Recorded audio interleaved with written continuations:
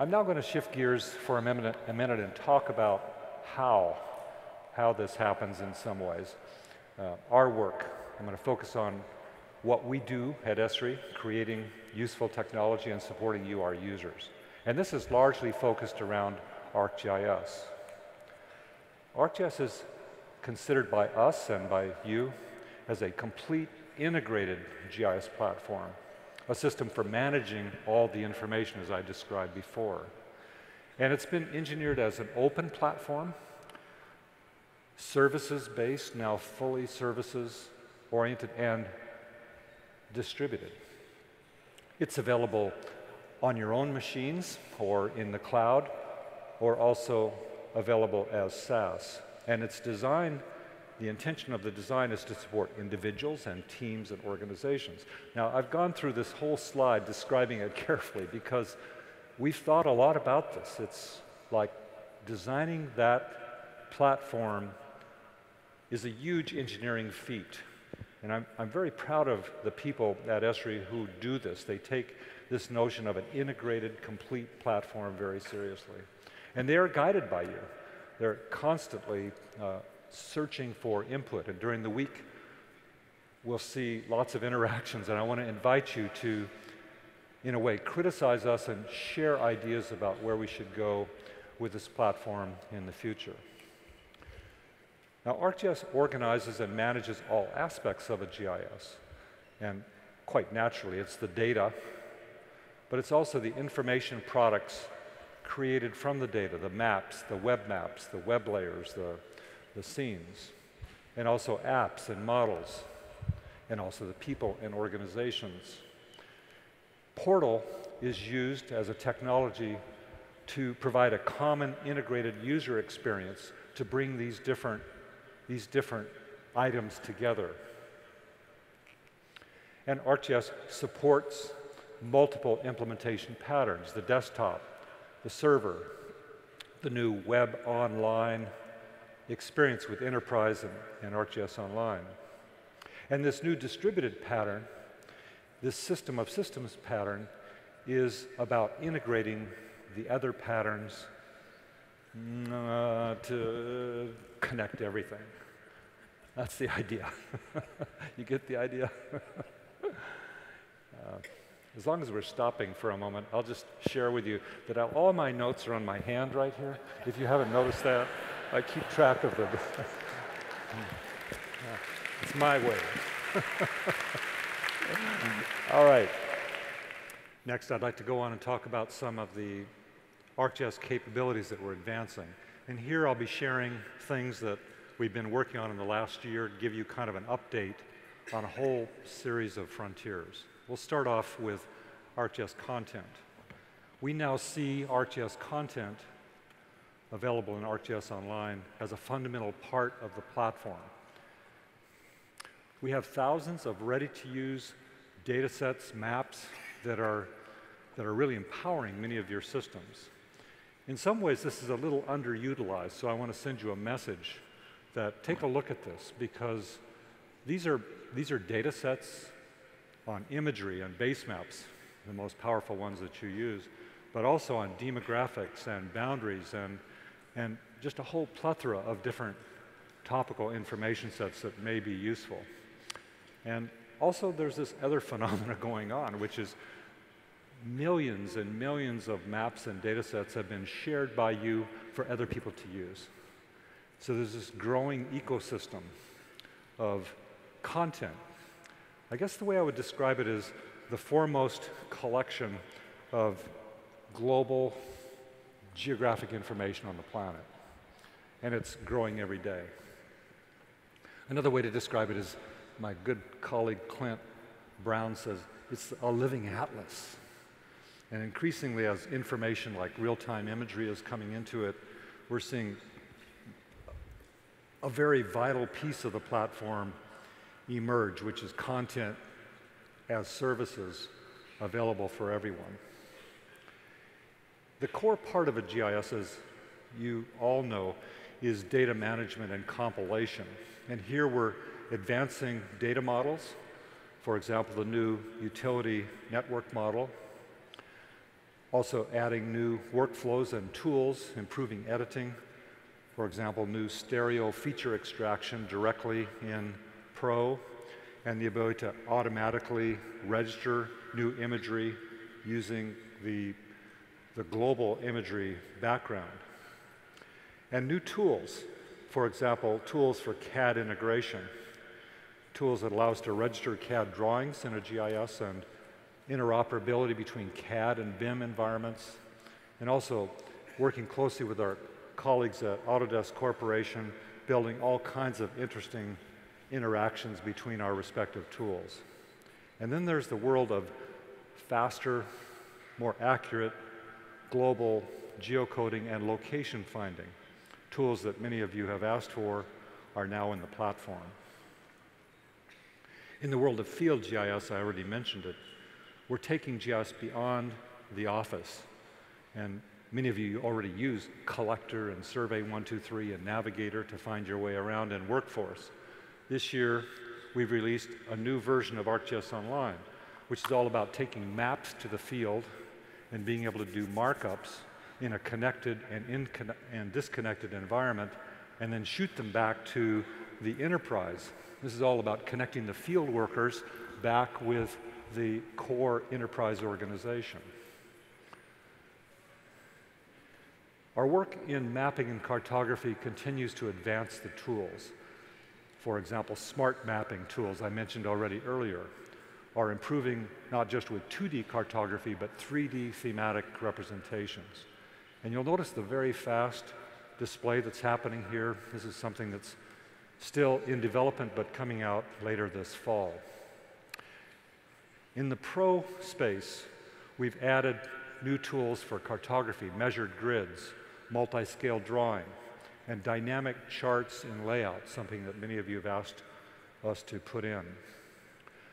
Production charting, mapping in topo, aeronautical, nautical, these tools, these tool sets, are also progressing nicely. Some of you are interested in vector tiles for speeding up your display and both in 2 and 3D environments. These are now supported along with the ability for you to project your own project your own vector tiles into your own projection. You're supposed to say, hey, that's really cool, right? Let's hear some applause. Took a lot of work. okay. We've made progress in integration, and this summer with the Adobe Creative Cloud in both Illustrator and Photoshop. So now practitioners of graphic display can unite these two technologies together and work with them productively. In the 3D space, we now consider GIS is a common 3D platform for visualization and analytics. It brings in data sources of all types, going from BIM and CAD drawings into a GIS, from LiDAR into a GIS. This is, and so on. And this is extended extending the language of maps into a language of 3D GIS work. Our work here has also been improving the functionality in the area of visualization and new tools for urban planning and geodesign. The apps continue to advance for navigation in Pro, for visualization in Earth, and the new scene viewer with 2 and 3D visualization is very powerful. We've added new data types that can be used, for example, now supporting 3D objects and 3D meshes with the specification of I3S. And in the innovation area, some fun stuff like augmented reality. I've showed you some of that already, but also virtual reality, opening up new visions of GIS data to new audiences. And new cool tools in the animation, for example, what you see here in the lower left. We also consider ArcGIS is now a complete imagery platform with three major components. First, the support for all leading sensors. Big satellites, small satellites, air photos, multidimensional data, radar, drones. Second, dynamic image processing. This really means image processing on the fly. And no matter how many times I've explained this to users, many people don't get it. So I'm taking the time today to explain this.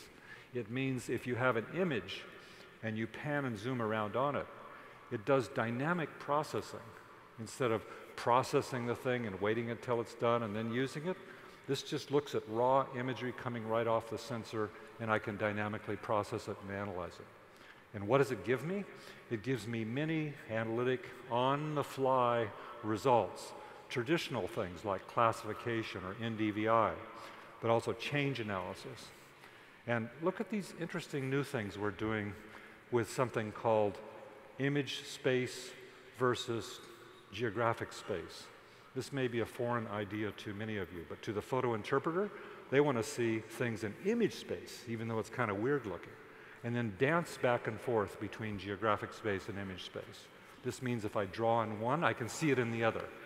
It means being able to capture from a, a warped image in, in, our, in many of our views, digitize and see it right into our database. Okay, I'm, I'm geeking out on you here, but it's pretty cool. This dynamic image processing capability means that I can stick the software right next to large, massive image stores, like terabytes, dozens of very large image data sets in a cloud, and process the imagery on request, dynamic processing next to the data. This is really an interesting pattern. And the server serves out image services and pictures of the results in a second. We're already doing this with Landsat and have for a couple of years. Every night, the whole world is covered with Landsat, and we immediately stand it up in the cloud within a few hours. And people around the world are advantaging themselves with this kind of real time, near real time imagery. Same with SST, and more recently with NAIP. This fall, we'll support Sentinel 2, which is the European satellite, multispectral satellite. And in a couple of weeks, we'll be releasing global elevation for the entire world. All of these are inside of ArcGIS Online in this living atlas that I described before.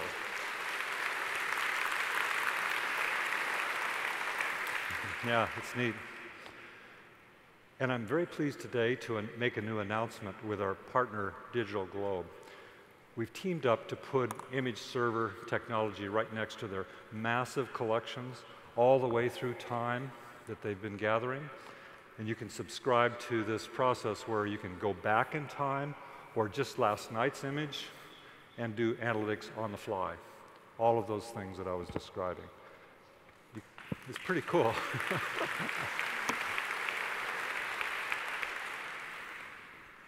In the area of spatial analysis, what, what Lauren was talking about earlier, lots of new progress. In web-based analytics, new tools for spatial statistics like being able to do vector analytics in space-time cubes. This is a big step. This is Lauren's invention, and it's another step in the evolution of spatial statistics. Nothing like it's ever been done. And lots of other enhancements. The integration with science through the R integration and the ArcGIS API for Python, very powerful tools to connect us to this other community, the other communities. But for me, the most interesting one is this little one called improved processing. And here we're using the, the parallel processing capabilities of the new GPU technology to parallelize computation like on a desktop for raster analytics. This improves speed. And then also look at the one below it, models as a service. So if I make a cool model builder model, I can effectively right-click it, send it over to my enterprise server, and it immediately comes alive with a service that other people can use. This is going to change how we share our tradecraft in the spatial analysis world. Yeah, it's fun, isn't it? Insights is a new product that we released earlier this year. It provides a whole new way to do spatial analysis in a very intuitive and interesting way, visual. I'm interacting with data. Academics often call this exploratory spatial data analysis and visualization. It's a long word, but um, you'll see this in a few minutes. I don't want to spend too much time, but you can take any kind of databases that you have and explore them in terms of space-time patterns, charts, graphs, and this will open up, like I said earlier, our community, not only allowing you to do your work faster and better, but also sharing your work with, with your colleagues in other fields. On the big data side, we have been working on tools to make geoprocessing and spatial analysis faster and also scale out to the hundreds of thousands of, for example, observations, or the millions of observations, or the tens of millions of observations, or the billions of observations. Using the GeoAnalytics server now, we can do the space-time work that we could only do in desktops in the past at scale, doing space-time analysis, hotspot analysis, for example, looking at this space-time cube in Houston, looking at patterns through time at scale. And this kind of environment increases the performance by 10 to 100 fold. On the raster side, or the image side, large image collections like a few images or a few dozen images or a few hundred images or a few thousand images or a few tens of thousands of images can now be processed, leveraging distributed computing and parallelizing the processing. So common tasks of image processing can go on at scale and be almost immediately delivered using the architectures that I talked about earlier. Closely associated with big data is real-time analytics. Here, reading in high velocity data streams and supporting the notion of monitoring and alerting. This is commonplace now in many organizations. They've become real time. Using the GeoEvent server, they can bring data alive in their, in their situation rooms. They can manage events. They can track their vehicles. They can do asset monitoring in real time. And the improvements here that we've made are scaling it up. It's one of the big and exciting things. I mean, we used to be able to, until this year, handle a few thousand, maybe up to 10,000 observations a second. And for many of you say, oh, that's really a lot. Now we can scale it up to hundreds of thousands of observations a second and millions of observations a second. Real, real, the sort of connected car, or Jack, in your world, the connected truck. And analyze those streams in real time. ArcGIS has been designed as an open system, an open platform, which is interoperable and standards compliant. We do this in three ways. We do it by supporting the leading open standards and formats. We work closely with OGC and others, and our standards compliant with certifications. We also do it by directly integrating our product with other leading COTS product technologies, which bypasses the need to spend a lot of money to do system integration. You just buy this, you buy that, you plug it together, and it works. We're doing that, we're doing that with Auto, Autodesk right now. Also, ArcGIS is designed to be open. That is, open access to the data, open APIs, an extendable, well-designed architecture with components that can be embedded. We open source major components of ArcGIS and GitHub. And the evidence that this approach is important and also successful is realized in the thousands of heterogeneous, complex environments that ArcGIS runs in today.